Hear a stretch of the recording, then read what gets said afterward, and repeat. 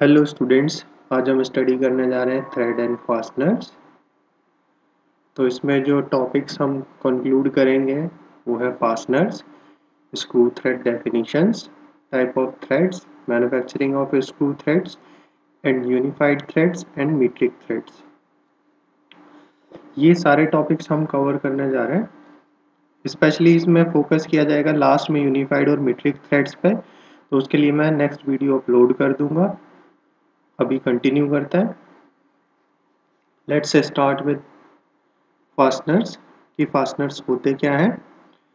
Fastener includes holds and nuts those which are threaded then it includes set screws also they are threaded then it is includes washers keys and pins washer keys pins they are not the threaded fasteners तो nut and bolt से तो हम सब लोग familiar हैं, जो यहाँ पर डायग्राम में आपको दिखाए गए हैं।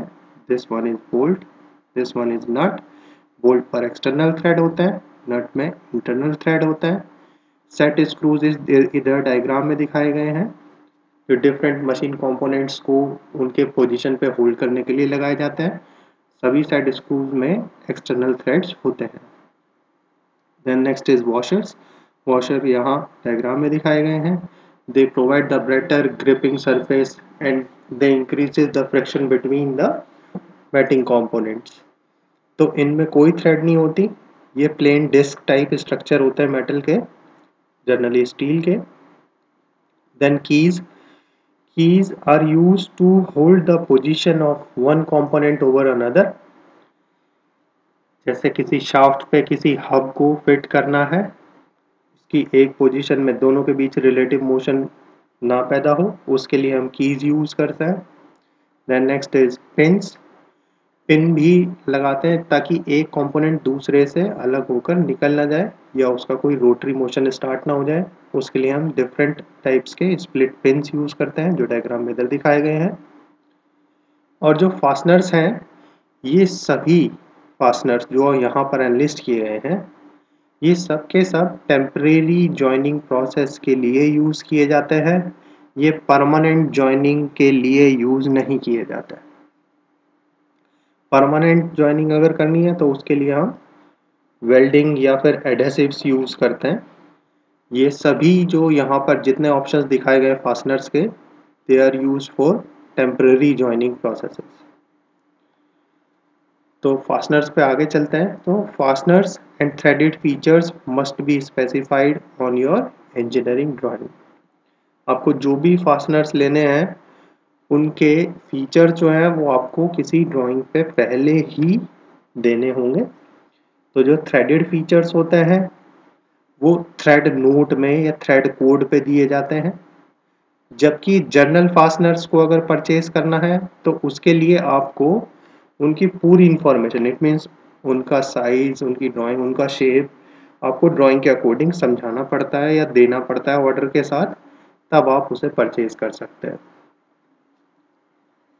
Now the definitions related to screw threads जो स्क्रू थ्रेड है, वो होता क्या है? It is a ridge of uniform section in the form of a helix इसमें जो भी थ्रेड होती है एक्चुअल में थ्रेड है क्या? कि एक कंटिन्यूस सेक्शन है किसी सॉलिड बार का या मेटल का। उसमें से हमने एक हेलिक्स के फॉर्म में इतना मटेरियल कट करके निकाल दिया, जिससे थ्रेड बनने स्टार्ट हो जाते हैं। इसे ही थ्रेड कहते हैं। तो थ्रेड इंटरनल भी हो सकते हैं और एक्सटर्नल भी हो सकते हैं।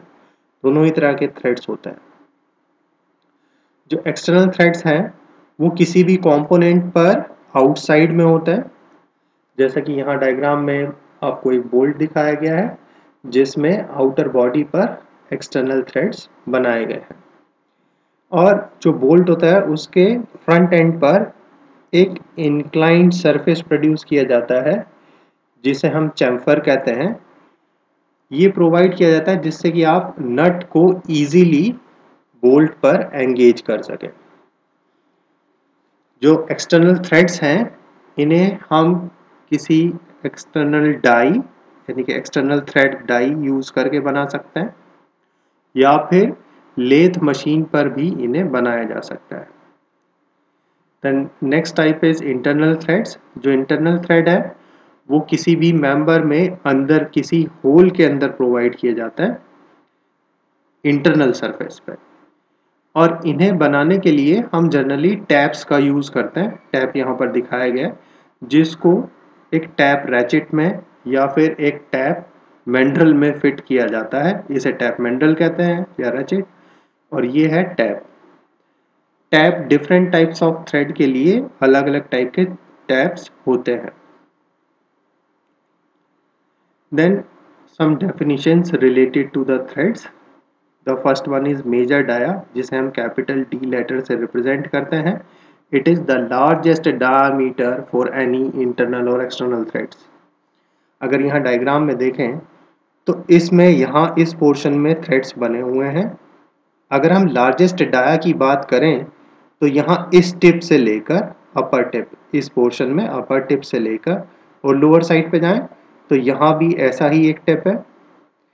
तो ये अपर पोर्शन जो है, ये थ्रेड का कहलाता है क्रेस्ट और जो लोअर पोर्शन है थ्रेड का, ये कहलाता है रूट तो ये क्रेस्ट टू क्रेस्ट जो डायामीटर है that is known as major dia और रूट टू रूट जो डायामीटर है, यानी कि इस पॉइंट से लेके इस पॉइंट तक, या फिर अनदर सेक्शन पे जाए तो फिर से रूट यहाँ से यहाँ तक, फिर आगे जाए तो यहाँ से यहाँ तक. This indicates the minor dia जिसको हम स्मॉल डी से रिप्रेजेंट करते हैं. It is the smallest diameter of a threaded component then depth of thread यानी कि जो थ्रेड हमने बनाई है, उसकी डेप्थ कितनी है या गहराई कितनी है, इसे हम आसानी से डिटरमिन कर सकते हैं. इट इट इंक्लूड्स और it concluded as major dia capital D minus minor dia divided by two it means crest से लेकर रूट तक का परपेंडिकुलर डिस्टेंस जो है, वो डेप्थ ऑफ़ थ्रेड कहलाता है। Then next is pitch dia लेकिन इसे स्टार्ट करने से पहले यहाँ पर एक टर्म है पिच उसको क्लियर कर लेते हैं। तो किन्हीं भी दो एडजेसेंट थ्रेड्स पर चाहे ये दोनों ले लीजिए फ़र्स्ट और सेकंड या फिर सेकंड और थर्ड ले लीजिए, या थर्ड और फोर्थ ले लीजिए तो कोई भी दो एडजेसेंट थ्रेड कोई भी दो, हम लेते हैं फ़र्स्ट और सेकंड तो जैसे ये दोनों थ्रेड लिए तो इस पर क्रेस्ट टू क्रेस्ट या फिर रूट टू रूट जो एक्सियल डिस्टेंस होगा। एक्सियल डिस्टेंस मतलब इसके एक्सिस के अलावा वो डिस्टेंस पिच कहलाता है। अब बात करते हैं पिच डायमीटर की, जिसको डीपी से रिप्रेजेंट किया जाता है। It is the diameter at which a line cuts the spaces and threads equally. ये किसी, इसमें आप एक इमेजिनरी लाइन यहाँ पर इमेजिन कर सकते हैं, जो यहाँ ब्लू कलर से ड्रॉ की गई है ये वो इमेजिनरी लाइन है, जो थ्रेड के ये हॉलो पोर्शन है या कट पोर्शन है, और ये थ्रेड का ओरिजिनल प्रोफ़ाइल है तो इसमें यहाँ रूट से लेकर क्रेस्ट तक के बीच यहाँ पर इस लाइन को ऐसे फिट किया जाता है या इमेजिन किया जाता है कि इस लाइन के ऊपर वाला एरिया और इस लाइन के नीचे वाला एरिया बराबर हो। इट मीन्स इस एरिया को डिटरमिन करें तो ये निचले वाले एरिया के बराबर आएगा। तो इसे कहते हैं पिच डायमीटर ऐसे ही लाइन एक इधर है, ऐसे ही इधर इमेजिन करेंगे और यहाँ से यहाँ तक का जो वर्टिकल डिस्टेंस है, ये पिच डायमीटर के बराबर हो। Now, let us recall some thread features. तो यहाँ पर एक एक्सरसाइज है। सेम वही पहला वाला डायग्राम है। और इधर आपको बहुत सारे parameters one by one identify करने के लिए बोला जाएगा। तो आप एक पेपर और पेन ले लीजिए। और जो यहाँ इंस्ट्रक्शंस दिए गए हैं, आप उनको आइडेंटिफाई करके अपने पेपर पे वो कोड नोट करते रहिए कि आप उसको कहाँ पर फिट करना चाहेंगे उस पर्टिकुलर पैरामीटर जो पर्टिकुलर पैरामीटर यहाँ पूछा गया है। तो पहला है major and minor diameter and pitch diameter ये तीन पूछे गए हैं और साथ में पूछा गया है थ्रेड का डेप्थ तो आप जल्दी से पेपर और पेन पे वो नंबर्स नोट कर लीजिए सीरियली जहाँ पर major dia minor dia pitch dia and thread depth आपको लग रहा है। वो नंबर्स नोट कर लीजिए। नेक्स्ट स्लाइड में इसके आंसर्स आएँगे। अभी मैंने नेक्स्ट स्लाइड किया। तो देखो, ये डिस्टेंस होगा थ्रेड की डेप्थ और ये क्रेस्ट टू क्रेस्ट ये होगा major diameter capital D root to root ये होगा माइनर डायमीटर इधर। रूट टू रूट यहाँ से लेके यहाँ तक।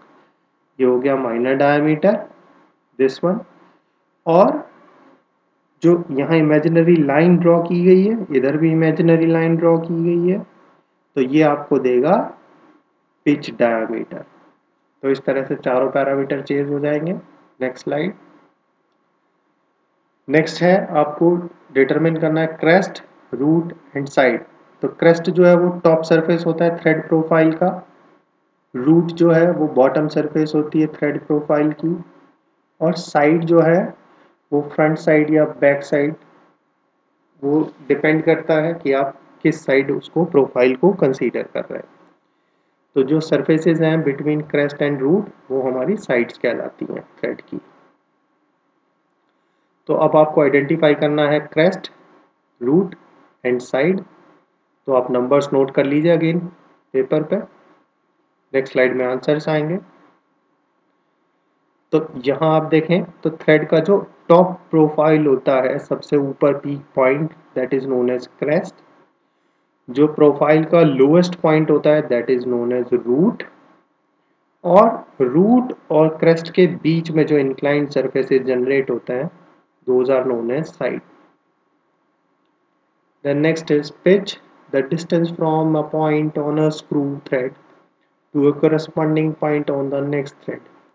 दो adjacent threads के बीच crest to crest या root to root axial distance जो है वो pitch कहलाता है another words में then angle of threads the angle between the thread sides is known as angle of threads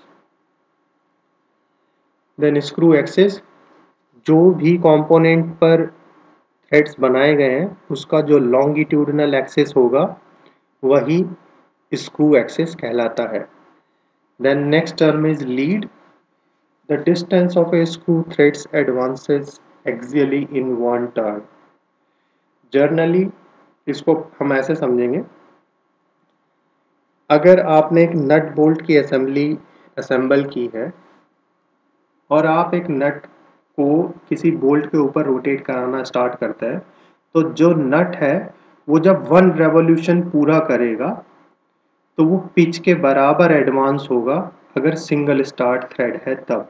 I repeat अगर single start thread है तब वो पिच के बराबर एडवांस करेगा।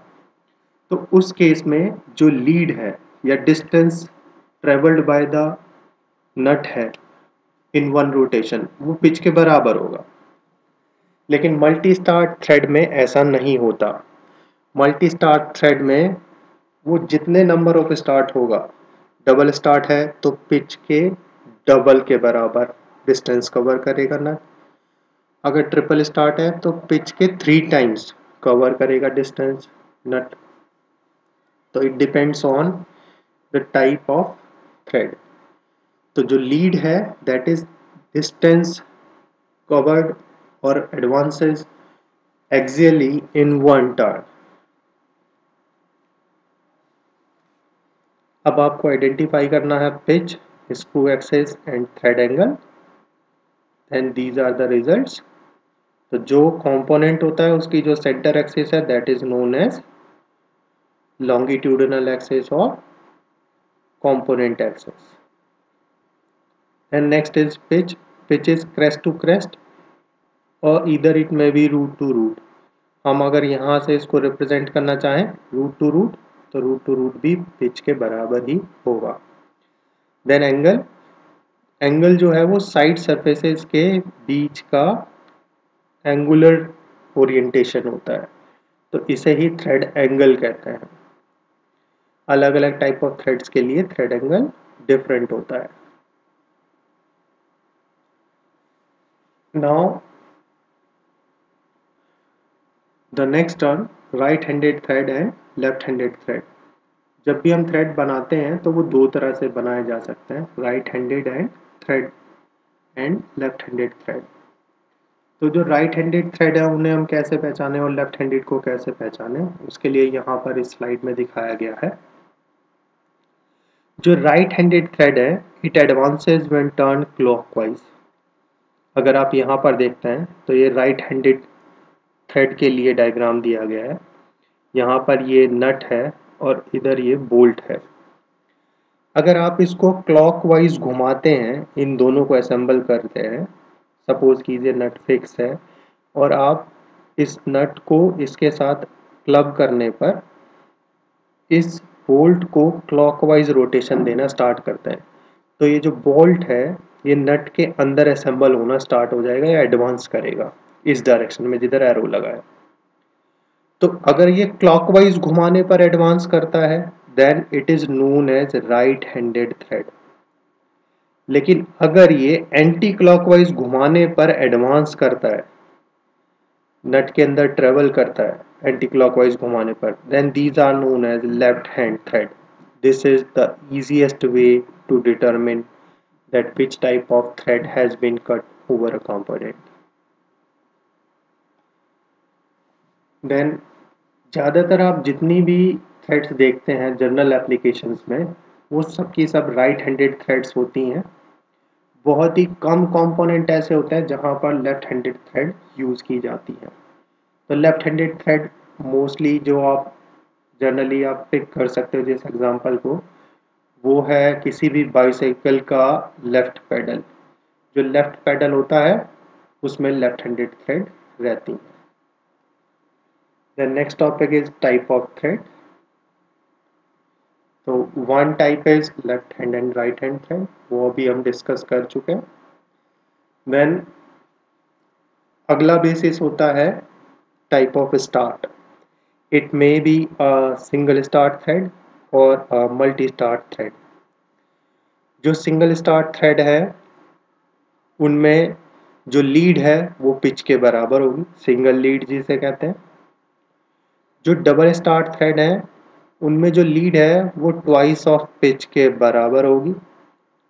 जो ट्रिपल स्टार्ट थ्रेड है, उनमें जो लीड है, वो थ्राइस ऑफ़ पिच के बराबर होगी। और जो क्वाड्रपल थ्रेड है, जिसमें चार बार स्टार्ट होती है थ्रेड देन उसमें जो लीड है, वो फोर टाइम्स ऑफ़ पिच के बराबर होगी। तो वही यहाँ पर दिखाया गया है। इधर इस डायग्राम में अगर आप देखेंगे तो जब आप किसी भी बोल्ट का फ्रंट एंड इधर साइड से देखेंगे तो वो इस तरह नज़र आएगा। अगर इसमें थ्रेड एक साइड से स्टार्ट होती दिख रही है then it is a case for single start thread similarly अगर आपको दो कट नज़र आते हैं स्टार्ट पॉइंट दो स्टार्ट पॉइंट दिख रहे हैं then it is double start thread similarly अगर आपको तीन स्टार्ट पॉइंट दिखाई दें 120 डिग्री अपार्ट तो वो triple start thread similarly 90 degree apart अगर आपको चार स्टार्ट पॉइंट दिखाई दें उसमें तो then this is a case for quadruple start thread quad threads बोलते हैं. तो अब यहाँ पर दिखाया गया है कि अगर इन थ्रेड्स के ऊपर ये नट अगर वन रेवोल्यूशन कंप्लीट करे तो वन रेवोल्यूशन कंप्लीट करने पे सिंगल स्टार्ट में देखो, यहाँ लीड और पिच दोनों बराबर होंगे, सिर्फ़ एक ही थ्रेड बाहर आएगा। डबल स्टार्ट में क्या होगा? दो थ्रेड बाहर आएँगे। तो जो लीड है, वो ट्वाइस ऑफ़ पिच के बराबर हो जाएगा, देखो। सिमिलरली ट्रिपल में क्या होगा? वन टर्न जब पूरा करेगा नट इस बोल्ट के ऊपर तो यहाँ जो लीड है, वो थ्राइस ऑफ़ पिच के बराबर होगा, यानी कि तीन थ्रेड बाहर आ चुके होंगे। सिमिलरली जो क्वाड्रपल थ्रेड है, उसमें वन टर्न पूरा होने पे चार थ्रेड बाहर आ चुके होंगे, और जो लीड है, वो फोर टाइम्स ऑफ़ पिच के बराबर हो जाएगा। अब देखने में तो आपको ये जनरली ऐसे ही दिखेगा। अगर यहाँ इतने पोर्शन को देखें तो ये single start thread multi start thread सब एक से दिख रहे हैं। लेकिन अगर आप इन पे अलग अलग टाइप के या अलग कलर के थ्रेड्स लपेटना स्टार्ट करें तो कंडीशन ये होगी, जो इधर लेफ़्ट हैंड साइड डायग्राम में है। अगर सिंगल स्टार्ट है तो एक ही कलर का बिल्कुल एडजसेंट बिना किसी गैप के फिल होता जाएगा थ्रेड डबल स्टार्ट का केस यहाँ पे दिखाया गया है ट्रिपल का यहाँ दिखाया गया है और क्वाड्रपल का यहाँ पे दिखाया गया। है next is type of thread profiles profile या फॉर्म के बेसिस पर डिफरेंट टाइप्स के थ्रेड्स हमारे सिलेबस में मेंशन किए गए हैं। The first one is V threads और शार्प वी थ्रेड्स इसमें जो थ्रेड्स के साइड्स हैं, उनके बीच का एंगल या इंक्लिनेशन होता है 60 डिग्री और थ्रेड की जो डेप्थ है, वो 0.87 यानी कि 87 परसेंट ऑफ़ पिच होती है थ्रेड डेप्थ वहीं जो नेक्स्ट थ्रेड है, अगर उसमें इसका अपर प्रोफ़ाइल और यानी कि क्रेस्ट प्रोफ़ाइल और रूट प्रोफ़ाइल अगर राउंडेड कर दिया जाए शार्प ना हो के राउंडेड हो, तब उसे हम कहते हैं विट वर्थ थ्रेड इसमें ये राउंडेड रहती हैं रूट भी और क्रेस्ट भी, और इसकी जो रेडियस है, वो 0.14 टाइम्स ऑफ़ पिच रहती है। और दोनों साइड्स के बीच का इंक्लिनेशन यानी कि थ्रेड एंगल जो है, वो अभी घट कर हो जाएगा 55 डिग्री और थ्रेड की जो डेप्थ है, वो है 0.64 टाइम्स ऑफ़ पिच नेक्स्ट है बटरस थ्रेड बटरस थ्रेड में जो एक साइड है, वो आपको ऑलमोस्ट वर्टिकल लगेगी, लेकिन उसमें इंक्लिनेशन होता है सेवन डिग्री का जबकि जो दूसरी साइड है, उसमें इंक्लिनेशन होता है फोर्टी फाइव डिग्री का। तो इसकी एक साइड सेवन डिग्री इंक्लाइंड होती है और दूसरी side forty five degree inclined होती है। इसमें जो थ्रेड की डेप्थ है, वो है 0.66 it means 66 percent of pitch. Then next is square thread. Square thread में इस तरह square waves के जैसी प्रोफ़ाइल होती है। तो यहाँ पर जो डेप्थ है थ्रेड की, वो होती है 50 परसेंट ऑफ़ पिच या 0.5 times of pitch. Then next is act में स्क्वायर थ्रेड्स की जो साइड वॉल्स हैं, वो वर्टिकल होती हैं और एक्मे की जो साइड वॉल्स हैं, वो इंक्लाइंड होती हैं। ये दोनों में डिफरेंस होता है। एक्मे का थ्रेड एंगल होता है 29 डिग्री जबकि थ्रेड डेप्थ जो होती है, वो स्क्वायर थ्रेड की ही तरह होती है that is 0.5 times of pitch then next is worm worm में जो डेप्थ है, वो इंक्रीज हो जाती है. Now it is 0.69 times of pitch ये एक्मे के जैसी ही थ्रेड्स होती हैं, लेकिन विटवर्थ थ्रेड की वो एक्मे थ्रेड की और वॉर्म थ्रेड में डिफरेंस ये होता है कि वॉर्म थ्रेड की जो डेप्थ है, वो हायर होती है as compare to acme threads अब इनके एप्लीकेशंस की बात करते हैं। तो जो वी थ्रेड्स होते हैं या यूनिफाइड स्क्रू थ्रेड्स होते हैं, ये दो तरह से क्लासिफाई किए जाते हैं V threads one is unified screw thread and another one is I S O metric screw thread ये सिस्टम इंच सिस्टम में चलता है, जबकि I S O metric system millimetres में चलता है। और ये दोनों ही वी थ्रेड्स के एग्ज़ाम्पल हैं। और जर्नल यूज़ के लिए ही इन दोनों को यूज़ किया जाता है। Next is square thread square thread जो हैं, वो हम ज़्यादातर यूज़ करते हैं पावर ट्रांसमिशन के लिए। मतलब जब टॉर्क को एक कंपोनेंट से दूसरे कंपोनेंट पे ट्रांसमिट करना है, उसके लिए। Next is acme threads acme threads जो है, वो स्क्वायर थ्रेड से स्ट्रॉन्गर होते हैं, क्योंकि इनमें अगर आप सेक्शन को गौर से देखें it is more rigid as compared to the square thread section, क्योंकि इसमें मटेरियल इधर थ्रेड प्रोफ़ाइल पर इंक्रीज हो जाता है। Then next is buttress thread buttress thread बहुत ही हैवी फोर्सेस को ट्रांसमिट करने के लिए यूज़ किए जाते हैं। लेकिन इनके साथ एक और रेस्ट्रिक्शन होती है कि ये सिर्फ़ एक ही डायरेक्शन में लोड्स को ट्रांसफ़र कर सकते हैं। बाई डायरेक्शनल ट्रांसफ़र इनमें पॉसिबल नहीं है। और इसका सबसे ज़्यादा यूज़ किया जाता है ट्रक जैक्स के लिए। आजकल तो वैसे हाइड्रोलिक जैक्स यूज़ होने लगे हैं। उनमें इनका यूज़ अब ज़्यादा नहीं रह गया है। देन सिलेक्शन ऑफ़ थ्रेड जब आप कोई भी कंपोनेंट थ्रेडेड कंपोनेंट डिज़ाइन करते हैं, तब आपको इन्हीं डिफरेंट टाइप्स ऑफ़ थ्रेड में से कोई एक टाइप ऑफ़ थ्रेड सेलेक्ट करना होता है, जो इन मेजर फोर पॉइंट्स पर डिपेंड करेगा या किस टाइप की थ्रेड उस मेजर कंपोनेंट के लिए सेलेक्ट करें। तो फ़र्स्ट पॉइंट होता है the load you are moving और holding together the next point is desired efficiency the next is torque and the last one is travel time let's start with the first point the load you are moving or holding together अगर आपको सिर्फ़ components को hold करना है तब आप कोई भी स्टैंडर्ड वी थ्रेड्स ऑप्शन ले सकते हैं चाहे यूनिफाइड चाहे आइसोमीट्रिक सिस्टम तो उसके लिए वी थ्रेड्स बेटर होता है सिर्फ़ अगर होल्ड करना है तो लेकिन अगर आपको बाई डायरेक्शनल मोशन लोड्स को ट्रांसफ़र करना है, तब आपके पास तीन ऑप्शन होते हैं। या तो आप एक्मे चूज़ कीजिए, या ट्रेपेजॉइडल या फिर बॉल स्क्रू थ्रेड्स यूज़ कर सकते हैं।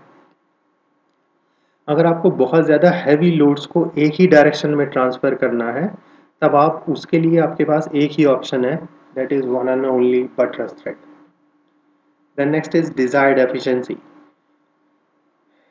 इनमें जितने भी टाइप्स के थ्रेड्स हैं, सबसे ज़्यादा एफिशिएंसी बॉल स्क्रू थ्रेड्स की होती है। बाकी सब में एफिशिएंसी कम हो जाती है। Then next is torque torque transmit करने के लिए जो किसी भी कंपोनेंट में, जैसे कोई भी आप थ्रेडेड कंपोनेंट यूज़ करेंगे तो उसमें जो टॉर्क रिक्वायर्ड होता है मोशन जनरेट करने के लिए बॉल स्क्रूज के लिए वो सबसे कम होता है।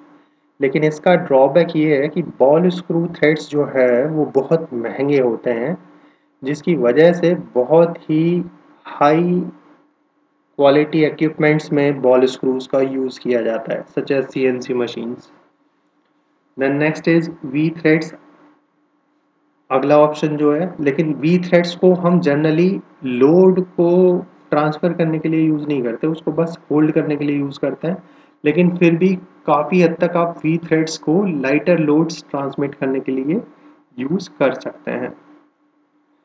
Then next is travel time जो ट्रेवल टाइम है, वो मल्टीपल स्टार्ट थ्रेड के लिए कम होता है, जबकि सिंगल स्टार्ट थ्रेड के लिए ज़्यादा होता है।